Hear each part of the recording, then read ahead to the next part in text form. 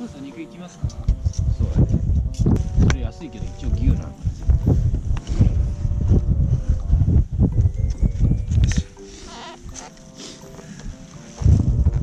すごい形の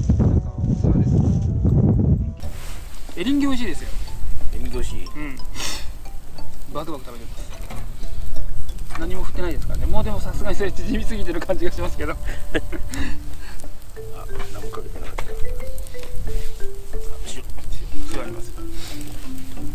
カピカピになってるさすがにちょっと。イタリアンハーブ。あー目が痛い。あ まあそれ僕笑ってますけど僕のテントに煙直撃してるんで。よくはないですよね。ー臭くなるかね。臭くなると思いますよャンプ道具大体もう臭いですもんね。ま僕薪しかしないんで。もう火を2つも出したら暖かいですね。うん。酒も回ってきた感じもあるし若干寒さが和らいできたかな釣りはしたいけどしたくないな。そうなのしたいけどしたくないよね。うん どういうことって話やけど。したいんですよ。気持ちはしたいんですよ、気持ちはしたいけどね。用意もしとるしね。でもなんかやらない体で話してるような気がするけど。せめてその漁港なら気軽にできるんですよね。だってそこ砂のとこ降りていかないけんしまたウェーダー測んないけんし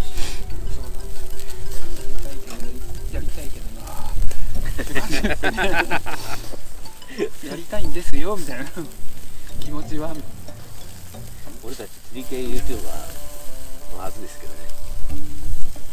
ねおじさんなんでねなかなか無茶もできないですよね。ただ食ってるだけじゃねえかみたいなスーパーがもっと大きいスーパーだったらよかったですね。それかも食材を買っていくかですかそれから本当は今日時間があったけ千座キッチンまで行ってもよかったんやけどね。行って戻ったってそんな1時間も多めにかかるわけでもないしさ。結果言う3 40と分ぐらい。そうですよね。そのここで日が暮れるまで待機してる時間があったから そうそうそれ考えると鹿肉とかかけてきた行動した方が良かったかなって感じがしますね。切る手間とかがあるけど。うあの小分けしとるあれ俺買って帰っとったやん、はい。鹿肉。あれめっちゃうまかったよ。んへえ僕あのあの時えっ、としジビエソーセージを買って帰ったんですけどまだ食べてないんですよ。冷凍庫にいるんでもう近く早く食べたいなと思って。今日持ってきたかったですよね考えたら。せっかく。ビエソーセージはまあやっぱ生の肉に比べるとあれ。多分多分味付けもしてあるから多分普通のソーセージだと思うんですよ。食べてしまえば。若干癖があるもんねやっぱ。普通のソーセージと比べる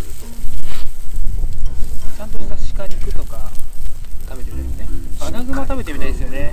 とまああの時あの某道の駅で食ったあのなんとか丼が まずかったけがっかりしとったんやけど本あそこの某道の駅は米が当あこれ米ですよ。食べ物食わそうっていう日本のお店であの米はないだろうって。どういうことかってやーしかしでもその後あのがっかりした後に帰ってあの鹿肉を焼いて食ったらうまいことうまいこと。普通に簡単にフライパンでさって焼いただけなのになんだか塩麹漬けやったかなあれ。ああそんなのだったんですか、なんか今度イノシシの分を買ってみようかなと。前回鹿やったけど次回ここでキャンプする機会があるなら千座キッチンまで行く全然キッチンかかありますかね。サザエ買って千座キッチンで肉を買うあの何でしたっけ？道の駅のあの蛍街道西の位置の近くにある別のもう一個の道の駅なんだっけな？あそこジビエ系のコロッケとかを店頭で売ってるんで行くとこもあるんじゃないですかね。タル海海鮮のやったかなああそこもちょっと売ってなかったっけあそこは野菜が手前の方に売ってあ売ってました売ってました。うん。ソーセージは同じものが千座キッチンと同じものが売ってあった。のねだけど多分界的なやつ一緒なんですかね。うん。でも豚肩美味しい。ハーブねやっぱりやっぱいいですよでもりょうちゃん鹿肉のは普通に食べたことあるの焼い焼いたやつとか刺身。普通の普通に鹿肉ってあんま食べたことないですね。刺身もない刺身とかないですね。焼いても刺身でも美味しい癖がないけね鹿って本当に癖がない肉逆に言うと本当牛牛よりも癖がないぐらいえー、僕の好きなその狩猟をしてるその亀五郎が最近ジャストミート大会っていうのやってそれがおに自分の好きなお肉を決める大会みたいな感じで、え、タヌキとアナグマと鹿と何だったかなあとイノシシとなんかもう一種類あってで自分の中で順位を決めるっていうやつでアナグマがダントツの1位で2位は鹿でしたね。シシよりも全然鹿の方が美味しいって言ってましたね。アナグマ美味しいって言うけどねアナグマはもうダントツですまあ、鹿が2位なのは分かるな。俺も鹿は何回も食ったけど本当に鹿は美味しいけねアナグマはもう本当に美味しいらしいですよアナグマでも高いけね。買うとですね、そこが問題なの鹿は小分けしたやつであの買えるけどさ洗濯機みたいに行けば。アナグマ言うアマゾンで姉さん言うから見てみたら 高かったですね。半半身で何万円とか。言ってさ僕しかもタコからババアから。自分で掃除しなきゃいけないでしょ？食べる部分なんてほとんどあんま取れないんじゃないですか？そう考えたら相当高いですよ。小分けすると割に合わんのかなでももうちょっと安いであの食べられる状態にした肉が売りよったと思ったんやけどな一回。気のせいかどうかわからんけど。いどっかで見たってことですか？やそのままそれやった。アナグマはいつか食べたいね。美味しい美味しい言ってましたよ。ほん。と点数をつけてたんですけど鹿がなんぼだったかな？12とかなんですよ。12ポイントみたいな。でに3位がイノシシで7とか。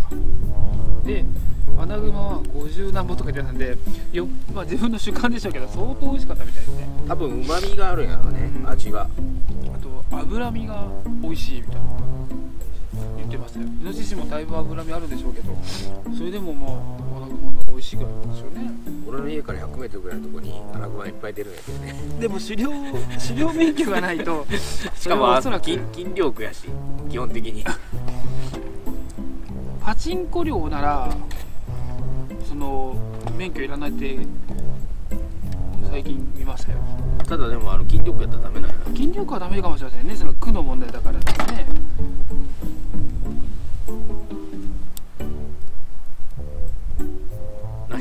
何を考えよ。いやこれいや洗い洗い物がめんどくさいか。いやフライパンで焼いたぐらいの感じの方が食べやすいかなと思ったんですよ。細かいのがあったんで、的なものにしてもよかったはいただ洗い物するのあれ以めんどくさいなと思って。上めんどくさいけねオイルが余ったりしたらそうなんですよ。ここに火がつけれるけどそれはそれで片付けがめんどくさいなと思って。らしい昔からこの潰し方。愛の島に行った時にバーベキューした。クソまずかったよねあれ。あれ何牛やったの？愛の島行った時のあので幕府の時ですか？何牛かまで覚えてないですね。クソまずかったよねあれ。はどういう経緯で買ったやつですかね？あれあのドンキのとこにある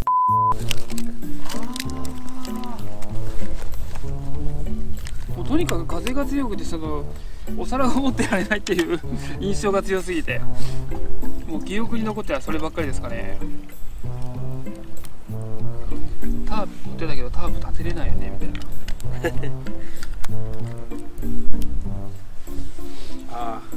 本当でも愛の島に行ったらこの椅子じゃないであのしょぼい椅子やくつろげんのよね。こういうふうに背もたれが背もたれがこんぐらい形だけついとっても背中こうこうできんやみたいなこれトライで売ってますよ。同じ形がそれいくらやったっこれが僕はこれネットで買って何ぼだったかな。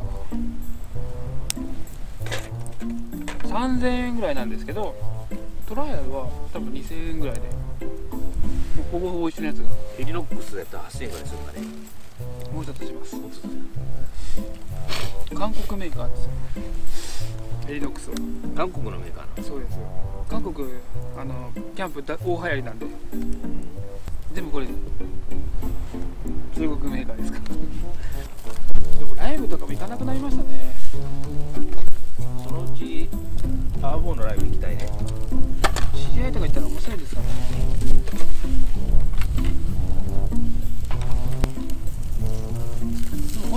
味しいですよ、うん。結構いいね。香りが。香りがいい。なんかニンニクの香りもすごくするんでこれニンニク入ったのかな？ニンニクはあれに入っこれに入っとけないそうかじゃあ元元のそっちかけたやつの香り